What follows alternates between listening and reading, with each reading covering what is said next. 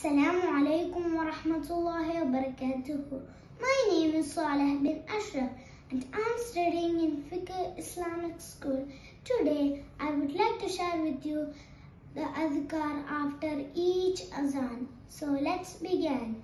Allahumma salli اللهم صل وسلم على نبينا محمد كما صليت على إبراهيم ala آل إبراهيم في العالمين إنك hamidun majid.